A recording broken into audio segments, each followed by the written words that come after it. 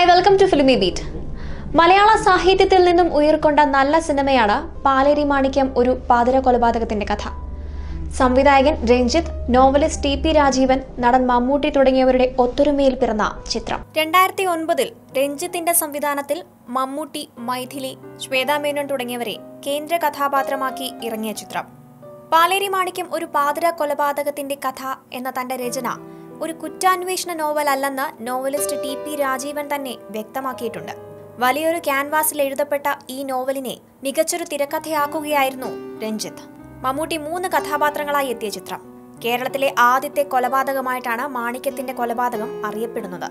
മൈഥിലിയുടെ അരങ്ങേറ്റ ചിത്രമായിരുന്നു ഇത്. മികച്ച ചിത്രത്തിനുള്ള സംസ്ഥാന അവാർഡും പാലരി മാണിക്യത്തെ തേടിയെത്തി. കുറ്റാന്വേഷകൻ തലമുടി നാരിഴ കീറി പരിശോധിക്കുന്നത് ഒരു കാലഘട്ടത്തിന്റെ സാമൂഹിക വ്യവസ്ഥിതികളെ ആകെ തന്നെയാണ് മമ്മൂട്ടി തന്നെയാണ് ഹരിദാസ് എന്ന ആ കഥാപാത്രം കൈകാര്യം ചെയ്തത്. ആയിരത്തി തൊള്ളായിരത്തി അൻപത്തിയേഴിൽ ഇന്ത്യയിൽ ഒരു കമ്മ്യൂണിസ്റ്റ് സർക്കാർ ബാലറ്റിലൂടെ അധികാരത്തിലെത്തിയതിന് പിന്നാലെയാണ് കോഴിക്കോട് ജില്ലയിലെ പാലേരി ഗ്രാമത്തിൽ മാണിക്യം എന്ന സ്ത്രീ കൊല്ലപ്പെടുന്നത്.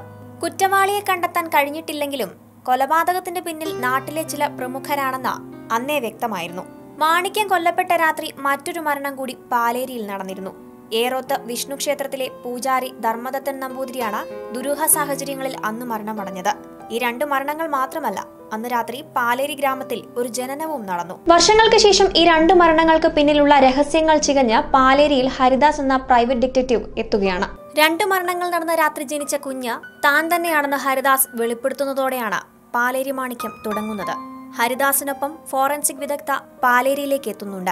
കുടുംബസ്ഥനാണെങ്കിലും സരയുവുമായി ഹരിദാസിനുള്ള അടുപ്പം സഹപ്രവർത്തക എന്നതിനപ്പുറമാണ്. സദാചാര പോലീസിന്റെ വക്താക്കൾക്ക് തീർത്തും ദഹിക്കുന്നതല്ല ഇവർ തമ്മിലുള്ള ബന്ധം. ഇരുവരും ചേർന്ന് പതിറ്റാണ്ടുകൾക്ക് മുൻപുള്ള മാണിക്യത്തിന്റെ കൊലപാതകത്തിന് പിന്നിലുള്ള ദുരൂഹതകൾ ചികയുകയാണ്. പാലേരിയിലെ പഴയ തലമുറയിൽ അവശേഷിക്കുന്ന കുറച്ചു പേരുടെ ഓർമ്മകളിലേറിയാണ് ഹരിദാസ് പഴയ പാലേരിയിലേക്ക് മടങ്ങുന്നത്. സ്വന്തം ജീവിതവുമായി ബന്ധപ്പെട്ട് കിടക്കുന്ന ആ അന്വേഷണം അന്വേഷകന്റെ ആത്മാന്വേഷണമായി മാറുകയാണ്. തീർത്തും പരസ്പര വിരുദ്ധമായ മൊഴികളാണ് സാക്ഷികളിൽ നിന്നും പ്രതികളിൽ നിന്നും ലഭിക്കുന്നത്. കെട്ടുപിണഞ്ഞ വേരുകൾ പോലെ കിടക്കുന്ന ആ മൊഴികളിൽ നിന്നാണ് ഹരിദാസിന്റെ സത്യാന്വേഷണ യാത്ര. ഏറെ അഭിനയ പ്രാധാന്യമുള്ള കഥാപാത്രമായിരുന്നു മമ്മൂട്ടി കാഴ്ചവെച്ചത്. മികച്ച നടനും നടിക്കുമുള്ള കേരള സംസ്ഥാന പുരസ്കാരവും മമ്മൂട്ടിയും ശ്വേതാമേനോനും ഏറ്റുവാങ്ങി. ഇന്നും ചുരുളഴിയാത്ത കൊലപാതകത്തിന്റെ കഥ രഞ്ജിത്ത് വളരെ മനോഹരമായി തന്നെ പ്രേക്ഷകർക്ക് മുൻപിൽ എത്തിച്ചു.